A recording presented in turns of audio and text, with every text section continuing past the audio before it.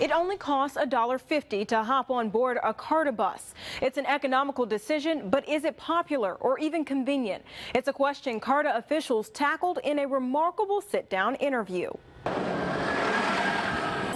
CARTA officials are the first to admit they have a major image issue. Oh, yes, we hear it all the time. Too dangerous, too weird, and too inconvenient.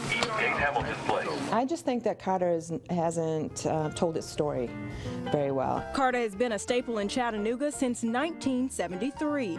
That's 41 years for anyone that's counting.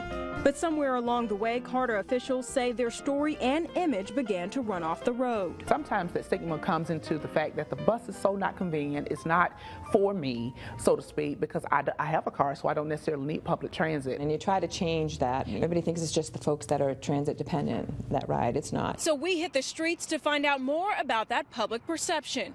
But while CARTA focuses on image issues, residents say they're sitting on their hands with the lack of route expansion. I would love to see them come back to East Ridge again. But executives tell me they already have a plan in motion to put the expansions on the map. They call it the 2040 Initiative.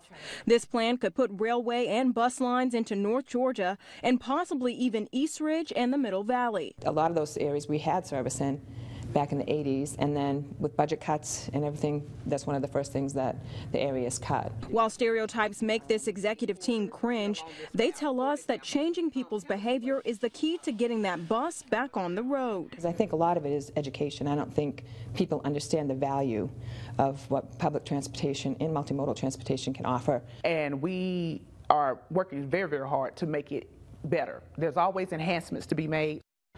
There's plenty of work to be done. While expansion is in the works, CARTA says its approval means residents will have to pay their fair share. If people want to be a part of the CARTA community, they have to vote and pay an assessment fee. Reporting for News Channel 9 at 11, I'm Micaiah Thurmond.